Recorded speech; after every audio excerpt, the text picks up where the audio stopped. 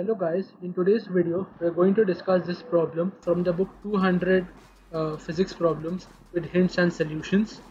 Uh, this book has quite an exotic range of problems varying from very easy, not very easy, problems which require minimal mathematics but a maximum of your logical reasoning skills and uh, problems which uh, will make your mind boggle and you might even be stuck on them for days or weeks. So this problem is on the relatively easy side. This is problem problem number two of the book. So let's uh, read the question. A small object is at rest on the edge of a horizontal table. It is pushed in such a way that it falls off the other side of the table, which is one meter wide, after two seconds. So let's say this is a table. This distance is one meter. We push the object from here, and it fell off this edge. So what conclusions we can draw? Initially it was at rest but we gave it some velocity by pushing it. So let's say it has an initial velocity vi and let's say it has a final velocity vf. So the condition for the final velocity would be the final velocity is greater than equal to 0.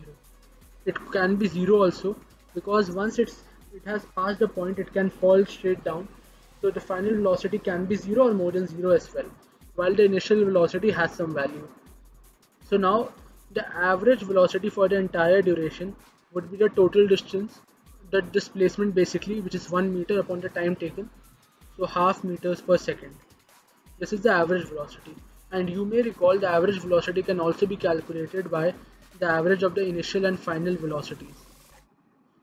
Now we also know that the final velocity at the minimum can be 0 so if we take the minimum value of the final velocity, if we take its minimum value, then we get the maximum value of our initial velocity, right? So uh, using these conditions, the two get cancelled out. We are taking uh, the uh, final velocity to be zero. So we get the initial velocity to be one meters per second. So this is the maximum value of the of the initial velocity. Also, we understand that uh, it went from one meters per second to 0 meters per second in 2 seconds. So we can also calculate the acceleration which would be 0 minus 1 over 2 which is minus 0.5 meters per second square. The negative sign implies it's retarding and uh, it means that the direction of the acceleration is opposite to the direction of the motion of the body. So now let me get some space here. Yes. So now uh, this is you uh, you may also know that the acceleration can this is the acceleration which is being caused by the friction. The, de uh, de uh, the deacceleration is being caused by the friction. So it can be written as mu g where mu is the coefficient of friction. Let's assume that the object did not have any wheels. So this would be kinetic friction because the object would be sliding on the surface. So kinetic friction would come into play. So we can calculate the coefficient of kinetic friction. The modulus of the coefficient of kinetic friction would be 0.5 over 10 which is 0.05 now you can see uh, the coefficient of kinetic friction is a dimensionless quantity. This is quite a, a, a small value.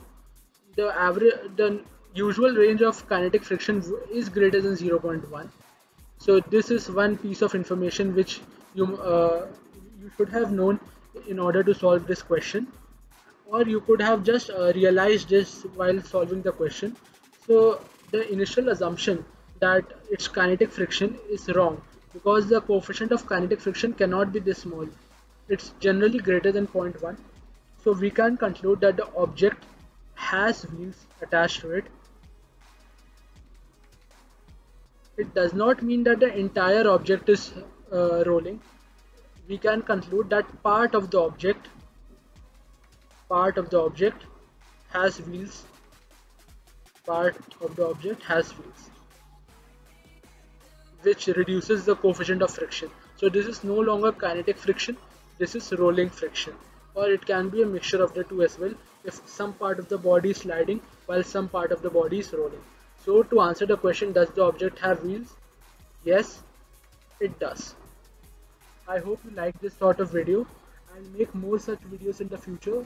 If you want to suggest some problems, you can leave them in the comment section.